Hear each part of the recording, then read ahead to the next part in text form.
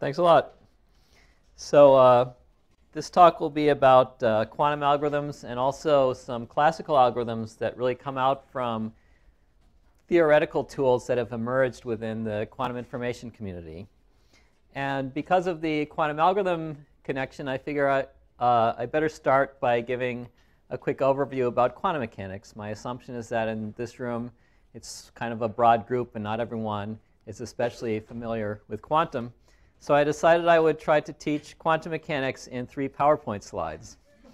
and that may sound like a joke, but when, you, when I really thought about this, um, I asked myself, is it really hard to teach quantum mechanics? And I think appropriately to the subject, the answer is actually kind of both yes and no at the same time. And uh, so a reason that quantum mechanics is not hard to teach is because mathematically, in its fundamentals, it's actually a fairly simple theory. The state space, uh, the state of a quantum system is just described by a big vector with many components. And the dynamics there is linear. You just take these vectors, you multiply them by some correspondingly large matrix, and that tells you what the state will be at the next time step. So in some sense, the mathematical basis couldn't possibly be uh, much simpler. On the other hand, yes, quantum mechanics is hard to um, understand, hard to teach, because it's physically, in terms of what it really means, it's very different from what we're used to in our everyday life. The whole um, notion of what it means for a system to be in a certain state, how cause and effect sort of plays out, um, you know, how measurements uh, and observations relate to um, reality. It's really just quite different. And so if you really want to deeply understand quantum mechanics from a physical point of view, you kind of have to grapple with this and, and really, in a way, discard your entire classical worldview and rebuild something new from scratch, which is very hard. And so I will um, respond to this um, uh, second challenge by just totally giving up. I will skip this part, and I will tell you only about the vectors and matrices and how we can use this to design um, ways of computing things. So here's the, here are the vectors and matrices. So if you start by analogy from a classical system, if you had some computer that just had two bits, then to describe the state of your computer at a given moment in time, you just pick which of the four possible um, combinations of values of two bits the system is in. So for example, maybe it's 0, 1. That's the state of your computer. And then as it moves through time, it jumps between these different states.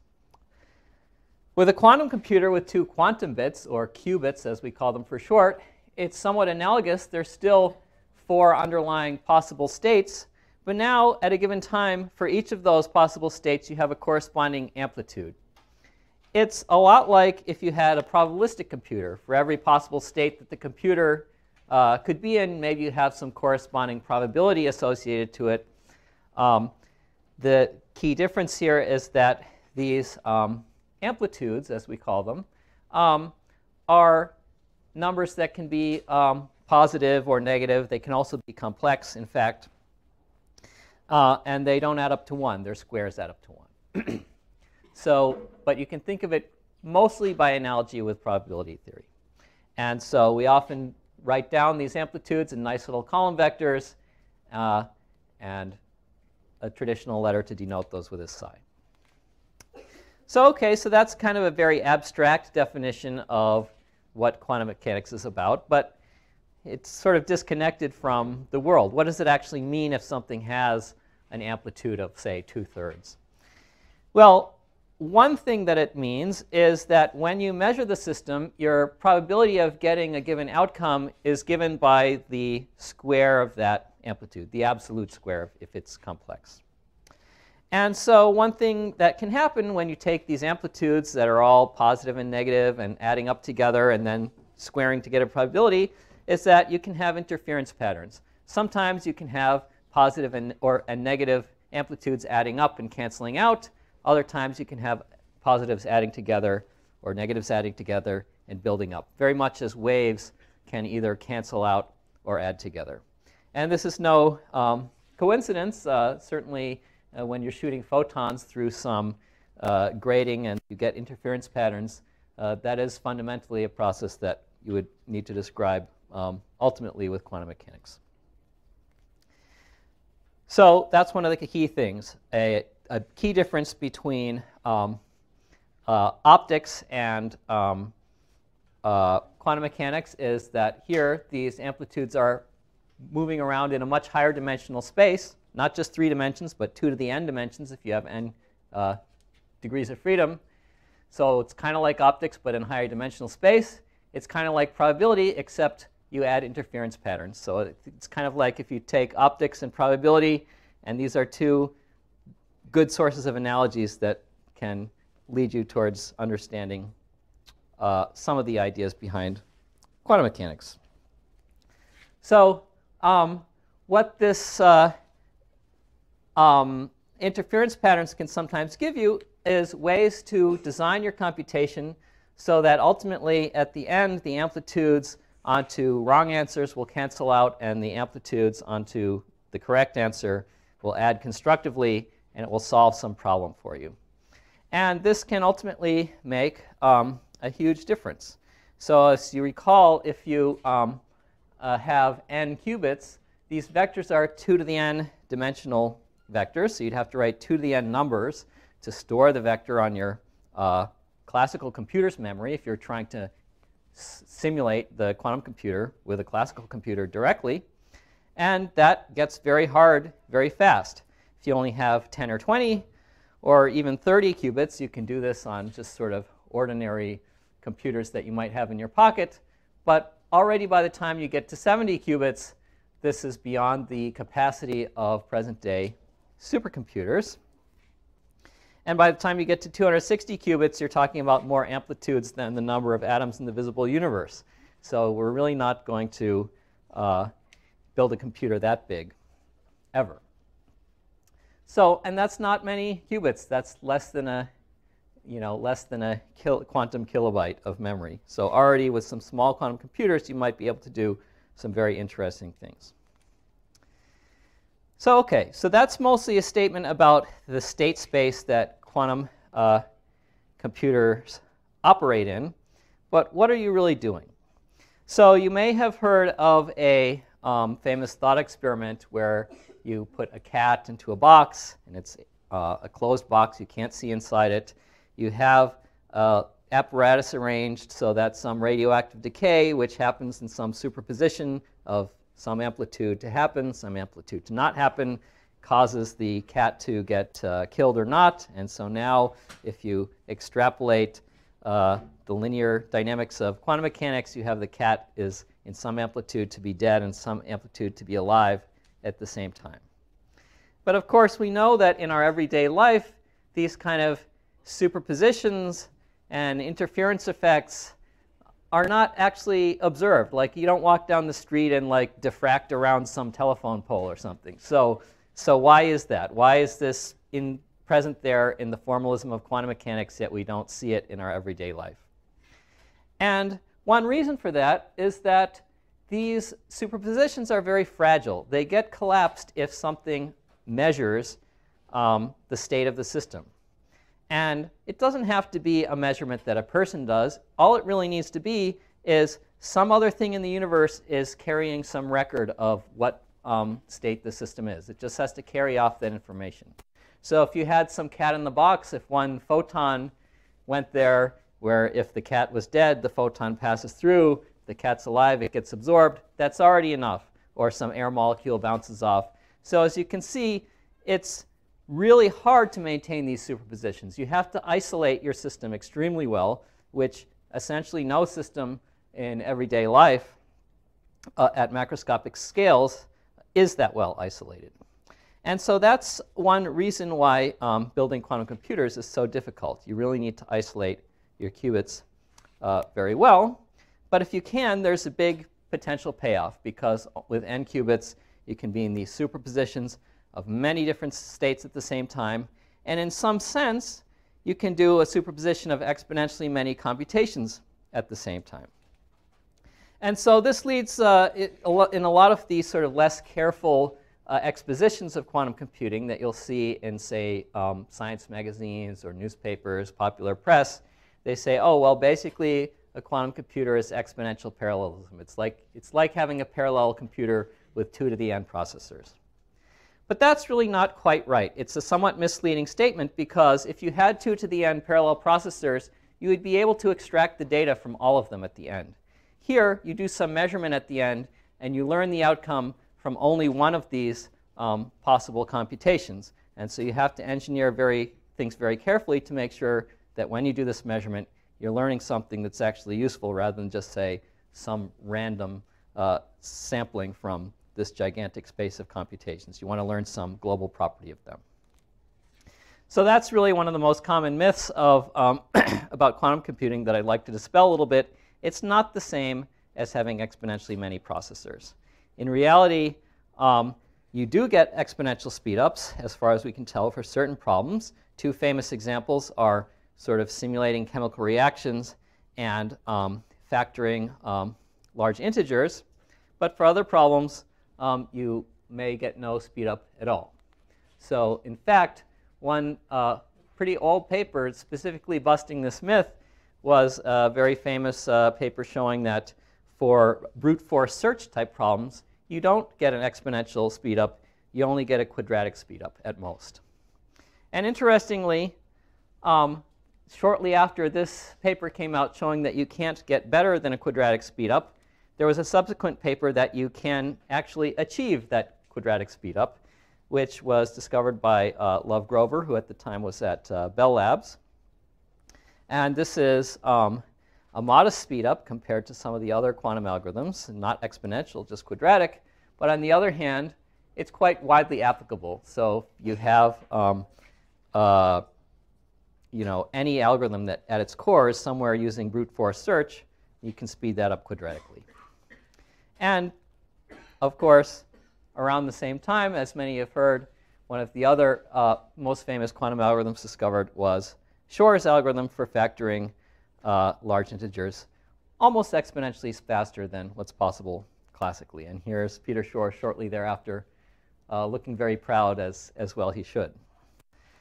Okay, so um, this I think leads to the second most common myth about quantum computing, which is almost the exact opposite of the first one, which uh, is that quantum computers are only good for two things, factoring and searching. Grover's algorithm and Shor's algorithm are the only ones out there, and no progress has been made since 1996.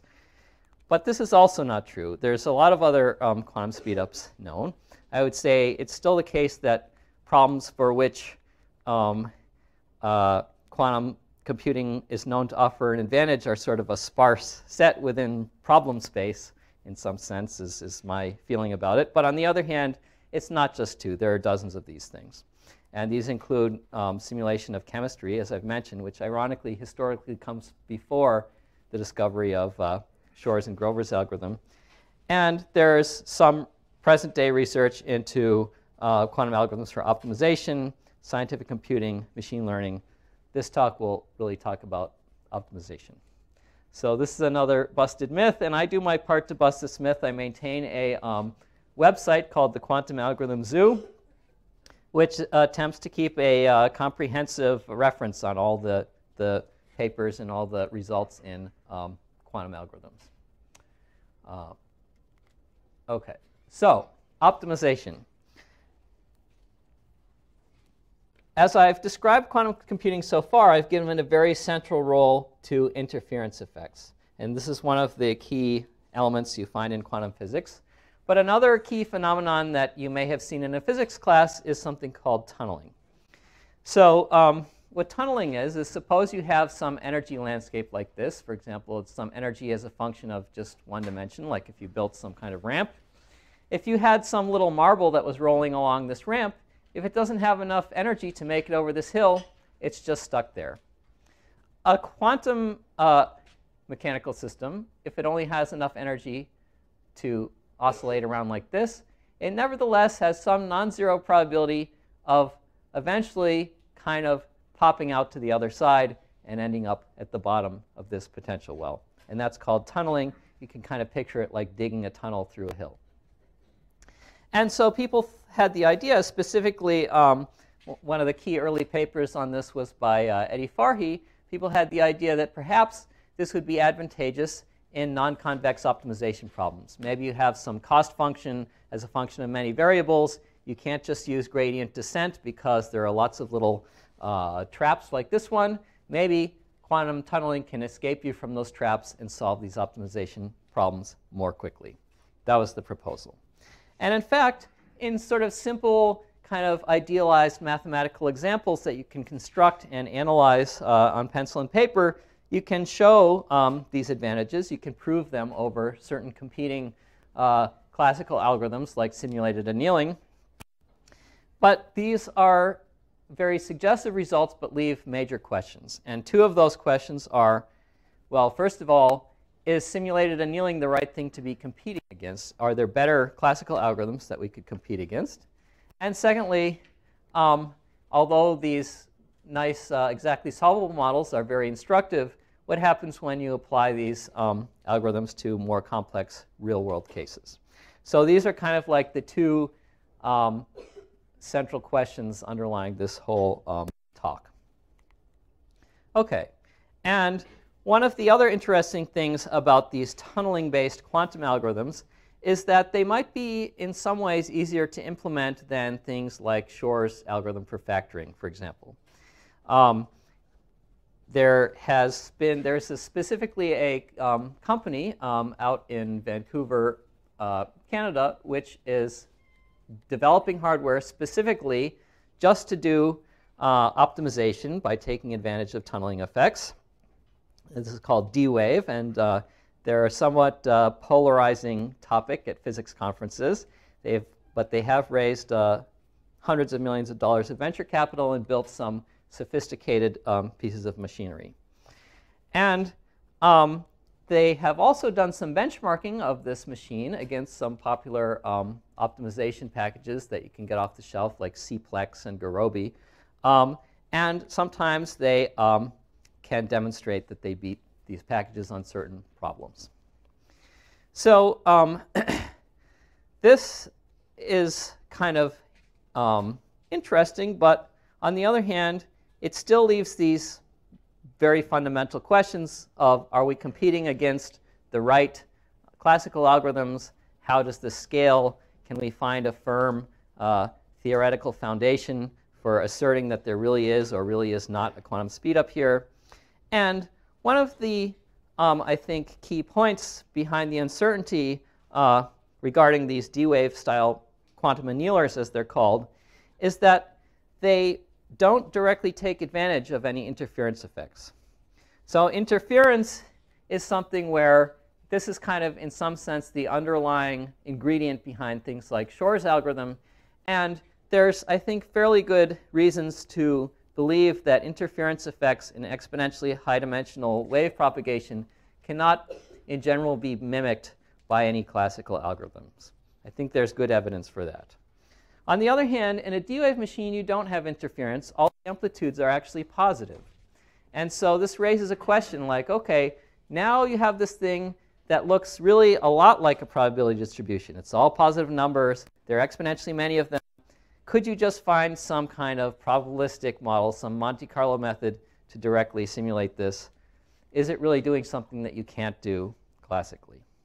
So tunneling, it's also a quantum effect. It's you can distinguish it from thermally jumping over um, obstacles in um, a simulated annealing algorithm, but is it truly impossible to mimic this classically? That's actually uh, still an open question. So to get a little bit deeper into that question, um, uh, we can look at Schrodinger's equation. So if, uh, if you like this kind of thing, you'll uh, like this slide, and if you don't like this kind of thing, you can just uh, close your eyes for two minutes, and the next slides are a little bit more practical. But um, Schrodinger's equation describes the dynamics of a quantum system, and it's just actually a quite simple looking equation. It's first order in time, it's linear. This, remember this psi vector is just some big vector, this h is just some big matrix.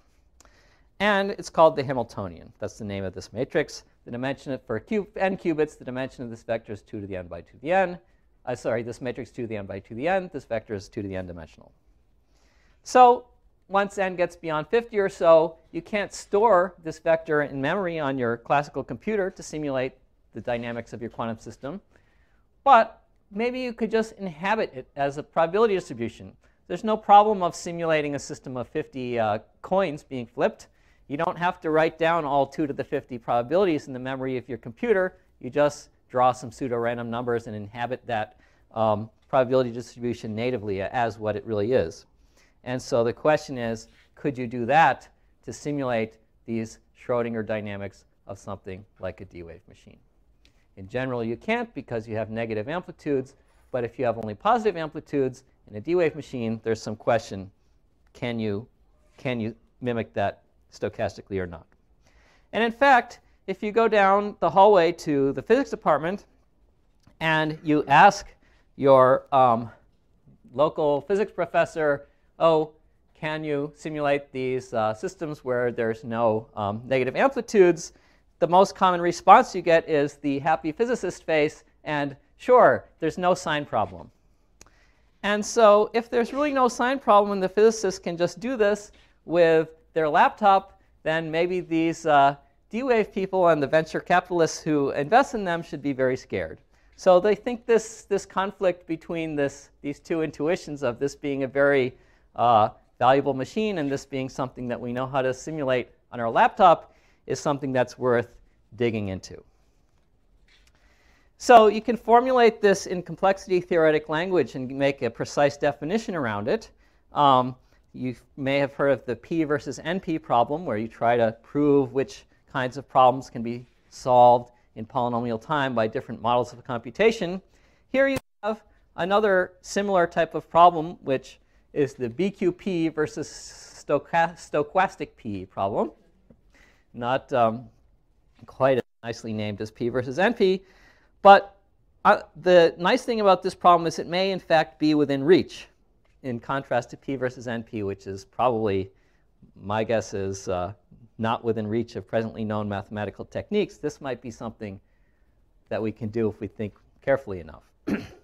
so there is, um, so you can have these definitions. P is the set of problems you can solve in polynomial time in a classical computer. BQP is the set of problems you can solve in polynomial time on a universal quantum computer, things like Shor's factoring algorithm. Stochastic P is the polynomial time solvable things using this class of Hamiltonians that D-wave machines D-Wave machines and related hardware uses where there's only positive amplitudes. And there's actually good complexity theoretic evidence that um, uh,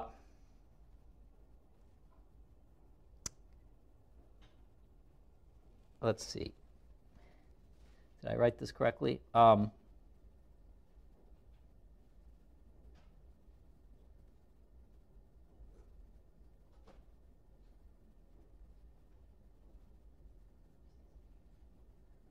No, sorry. It should be, there's good evidence that stochastic P is not equal to BQP unless BQP is equal is contained in post BPP, which is generally thought to not be true. So it's probably there's good reasons to believe that um, uh, BQP that stochastic quantum computers are less powerful than general purpose quantum computers. But the remaining possibilities are that they're intermediate in power between universal quantum computers and ordinary classical computers, or that they're no more powerful than ordinary classical computers. So sorry, this is, that should be a not equal to sign rather than a not contained in sign.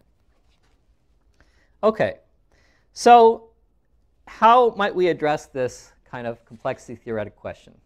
So the easier direction to prove is probably in the case that these things are equal.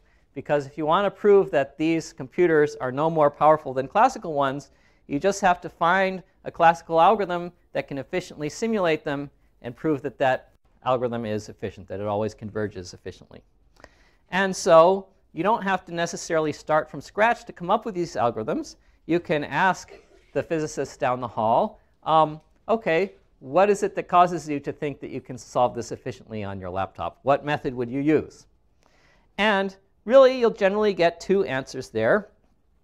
The most common answer is, well, we can use path integral Monte Carlo. That's what they use in practice, oftentimes, for simulating these kind of things. And maybe the second most common is something called diffusion Monte Carlo. I'm kind of lumping to the people who are actual um, computational physicists, when I say diffusional Monte, diffusion Monte Carlo, I'm kind of lumping together several things, including Green's function Monte Carlo, uh, but basically these kind, th th that style of algorithm. so, um, so the obvious proof technique to show that these stochastic computers, like the D-Wave machine, could be efficiently simulated classically would be to look in these algorithms, analyze them, and prove that they always converge in polynomial time. And so what are these algorithms? So in the first one, path integral Monte Carlo, what you do is, if you're familiar with simulated annealing, what you have is some kind of little random walker, which is hopping around on the energy landscape. And you have some rules for how it hops around. And it preferentially goes downhill, but sometimes it can also go uphill with some probability. So it generally drifts in the right direction towards lower energy states that you're trying to find. But if it is getting stuck in some local minimum, it has some possibility of escaping by making these uphill hops. That's, that's simulated annealing. In path integral Monte Carlo, instead of a single walker, in some sense, you have something that looks like a chain of walkers all hooked together, and they influence each other. And they're all sort of hopping around and making these tangled, um, tangled paths. This is not necessarily the way a physicist would describe it, but it gives some flavor of what these algorithms look like.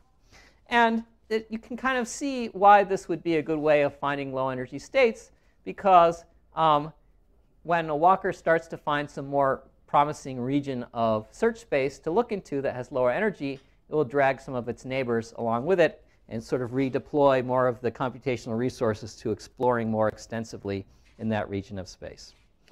Another interesting thing about path integral Monte Carlo is when you have simple landscapes with only a pair of wells, you can prove that the asymptotic um, scaling of the amount of time that the walkers will take to um, converge to the um, lower energy well is the same as the scaling of the tunneling time quantum mechanically. And so that is sort of a promising sign in favor of using path integral Monte Carlo to achieve these speedups for optimization. And um, so you can basically analyze these tunneling times. You'll have walkers spending preferentially more time in the bottom of the wells and preferentially less time in this barrier between them. And when you work out the math, it matches the um, uh, behavior of the quantum system. You use an analysis tool called instantons. You just describe this image a little bit? You said multiple walkers that are influencing one another. And so is this one walk? Yes, well, so this, this, right, so this is not one walk. So you'd have, you could think of it as like each of these vertices on this kind of like zigzag line is a separate walker. And over time, you could have them all sort of wiggling around like some uh, worm that's. Yes, yeah, yeah. Um, so it's, there's a little bit of a weird thing about the word time in this context because like if you look at this direction, if you think about what it corresponds to in the physics of the system, it corresponds to if you take the time variable and make it imaginary instead of real, which is a bit weird. But if you look at time like the computer is going from step to step, you have at each step you have this whole wiggly worm and it's wiggling uh, from time step to time step. So these two different notions of time, the computer's actual time and the time that you're uh, mimicking from the physical system are, are different from each other, which is a little weird. Um, so all of that was sort of pointing in the direction of maybe path Monte Carlo can always sim efficiently um, simulate these stochastic computers. But um, in 2013, um, uh, another person from uh, Microsoft uh, Quantum Group found a, was able to construct a counterexample where he could prove that path Monte Carlo will actually take exponential time to converge despite the absence of a signed problem. So it doesn't actually always uh, give you an efficient simulation for these stochastic machines. And so that is, if you look at the counterexample, it's a very weird kind of contrived energy landscape that he built just to be able to make a counterexample. But what this does is it sort of blocks that off as a proof technique. Like, OK, you're not going to be able to prove that p equals stochastic p by proving convergence of of pathological Monte Carlo. And so that uh, instead of the physicist giving a happy face, perhaps the founder of uh, D-Wave would be making the happy face this time. Um, so, yes.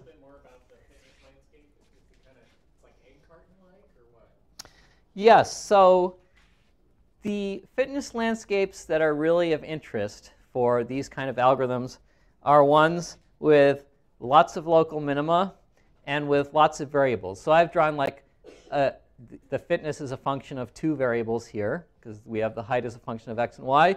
Really, you might have 100 or 1,000, but I used two for obvious reasons. What's that? Um, ah, so the counterexample, let's see. Uh, yes, the way the counterexample works is Matt Hastings designed some um, landscapes that sort of are shaped like a like the um, sort of sombrero shape, so that you can have some.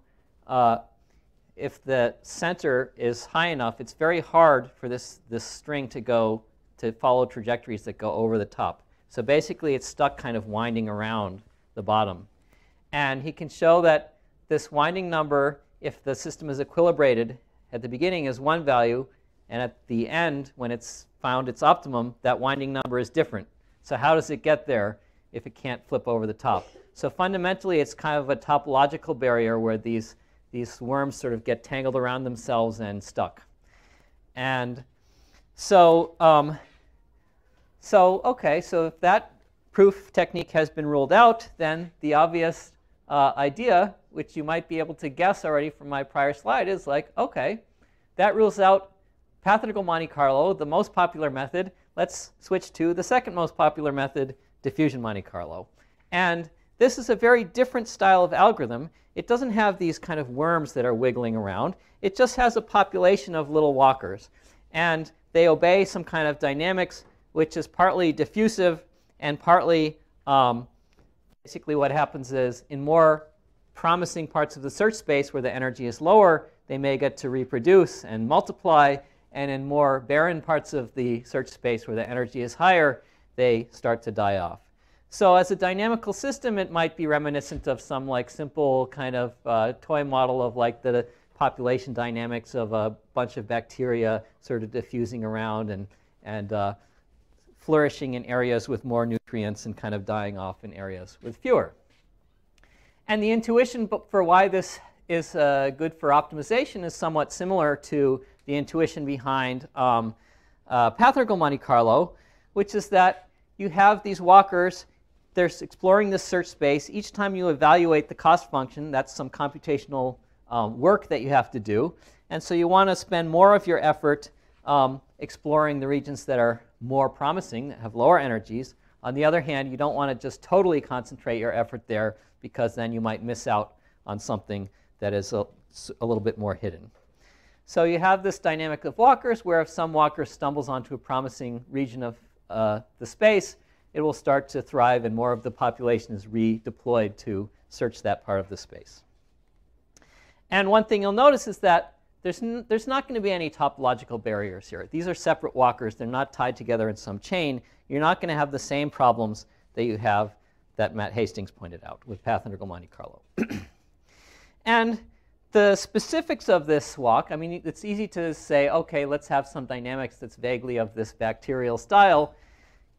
In this case, it's designed as a simulation algorithm, so you choose your probabilities for the walkers to die off and multiply according to very specific formulas, which ensure that in the limit where you run this algorithm infinitely long, the probability distribution of these walkers will converge to something which is proportional to these ground state amplitudes of your quantum Hamiltonian.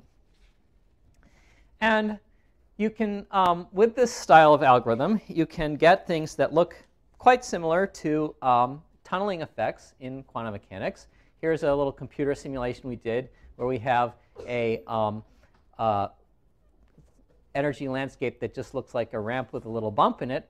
And eventually, here's some probability distribution over walkers. Eventually, they find their way across the bump. And when one of them do, one of them does, the other ones very quickly start to uh, basically teleport across here. These ones kind of die off very quickly and this population explodes. So it eventually tunnels across this barrier. So that looks promising. Can we actually prove it? Does this allow us to prove that P is equal to stoquastic P, that these um, uh, quantum annealers can't achieve exponential speedup? Well, it turns out the answer is no. Um, with some co-authors, uh, I proved that, in fact, you can construct some counterexamples where this also fails to converge, um, basically due to the fact that this probability distribution is proportional to the amplitude itself, whereas the quantum probability distribution is proportional to the square of the amplitude. And in high dimensional spaces, this can actually make a big difference, and you can get exponential separations between the behavior of these things if you your cost function, your energy landscape just right. Um, so both of the most obvious proof techniques for showing that these computers can be simulated classically fall flat. And so that um, is, uh, in a way, you could view that as a negative or positive result depending on whether you're someone who builds these computers and sells them for $10 million a piece versus whether you're someone who is eager to prove uh, theorems. But there was another sort of side question that we tacked on as sort of an afterthought to this uh, uh, project, which is, well, okay, we've got these counterexamples. We don't have a proof technique coming out of here, but the counterexamples are pretty contrived. They're weird. They don't look like the examples of optimization problems you find in real life. Can, why don't we just try coding it up and trying it on some real problems and see what happens. So um, what we did was we just, uh, um, actually this was a suggestion to, to try it on benchmarks uh, from my uh, former PhD advisor, Eddie Farhi. And so we just kind of typed into uh, Google like, oh, benchmarks of MaxSat. That seems to be one of the most standard and well-studied uh, discrete optimization problems. The thing that popped up as the first hit was uh, a set of benchmarking problems that turned out to be from a annual contest for MaxSat solvers, where people enter their software and win a little prize if their software solves this uh, fastest and best. And uh, so we uh, tried our algorithm on some benchmarking instance we downloaded from there.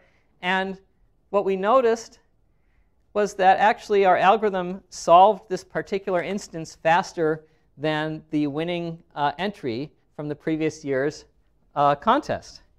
So then we decided, hey, you know what, maybe this is actually like far more interesting than our theorem proving project that we were originally pursuing. Let's just totally take a left turn on this project and say, okay, now our project is about this heuristic optimizer that we can try applying to these very disordered problems like MaxSat. And in fact, one thing we decided to do is enter a, uh, our software in the contest uh, the next year. Um, and so we uh, did so. And it turns out that we did not actually end up as the championship uh, software. That first instance that we chose was sort of a lucky choice. We performed pretty respectably in certain categories. We solved in the fastest and we were beating uh, much of the uh, pack, many of the software that had been optimized over many um, years entering this contest over and over again. So we were fairly pleased with ourselves. It turns out that that year, the number one software that vastly beat everyone else was also written by a physicist, someone who was at the time a professor at Texas A&M, a guy named uh, Helmut uh, Katzgraber. And essentially what had happened is he had had roughly the same uh, observation at about the same time that we had uh, independently, and he did a better job of coding it up. And his software came in and basically leapfrogged all these other methods that people had been honing for many years, and this created quite a splash in the um, optimization community. Just some weird physicist coming out of nowhere, no one had met before, and entering this contest for the first time ever and beating the pants off of everybody. So this was uh, um, not quite a win for me personally, but a huge win for what we now refer to as quantum-inspired optimization. This is, this is what we decided to call this subject. And so um, these are some uh, benchmarking instances which are widely studied um, by academics because they capture some relevant features of real-world optimization problems that arise in industry. But they're a little bit simplified and idealized so that they're easier to work with, easier to analyze. So um, we became curious about how our algorithms would fare if we uh, applied them to some real-world applications. And um, not coincidentally, um, I'm now at Microsoft. Uh, at the time, I was at NIST slash University of Maryland. Helmut Katzgraber was at the time a professor at Texas A&M. He's now uh, in the office uh, across the hall from me at Microsoft. My co-author uh, on this uh, and co both of the code and the paper on this thing is now also in at the other end of the hallway at Microsoft, and we have a little group there which pursues this and applies it to um, industrial problems that we can get our hands on. so um, I have a few examples of that. So one of the uh, examples that we've looked at is a problem of traffic optimization, something that uh, we in Seattle uh, uh probably care about very much. And um, so this example is for the city of uh, Beijing. And this was something where prior methods that were being used to solve it were running in um, 800 seconds on a supercomputer. And on the D-Wave machine, they were able to get some uh, 40x speed up running this in 20 seconds, so a good improvement. But it turns out that using our quantum-inspired optimization methods, we could solve this in uh, one-fifth of a second um, using these QIO methods. And in fact, that's on a CPU. This is just you know an ordinary workstation if we run it on uh, special hardware, an FPGA, uh, in which, of which there are many in, uh, in Microsoft Azure's uh, cloud data centers, these are basically kind of like custom chips, but they're reconfigurable. We can solve this in only um, 0.0004 seconds. So we can get huge speedups uh, by combining these quantum-inspired methods with more specialized classical hardware. So um, one of the projects that uh, I'm currently working on, which is a little bit um, less industrial and more of a sort of researchy project, is we have a collaboration um, which is between um, Microsoft and Case Western Reserve University, um, specifically the research group of um, Mark Griswold, where what we're optimizing in this case is pulse sequences for magnetic resonance imaging machines.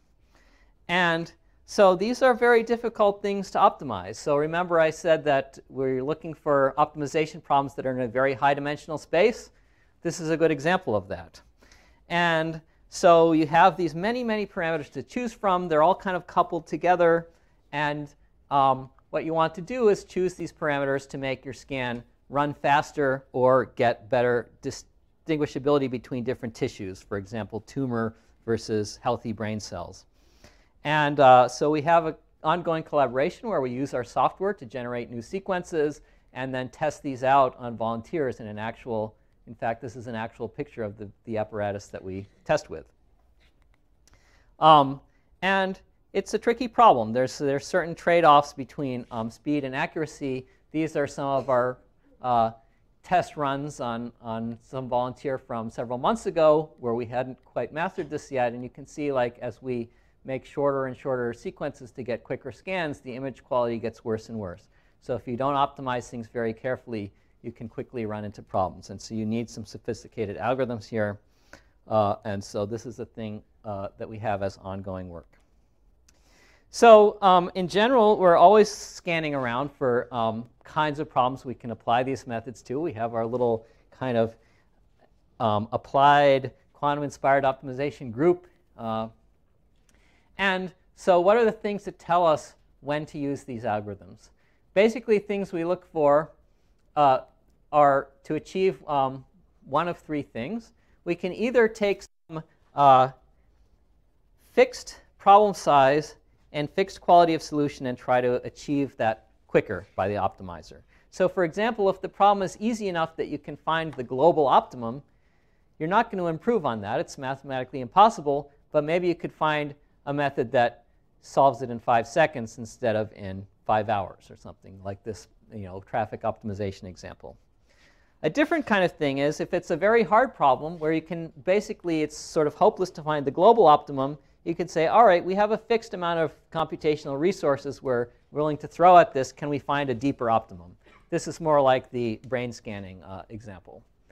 And a different kind of thing is, well, maybe it's neither of those. Maybe what you're doing in practice is solving a mathematical model that's quite simplified to reduce the number of variables and make it amenable to your current algorithms.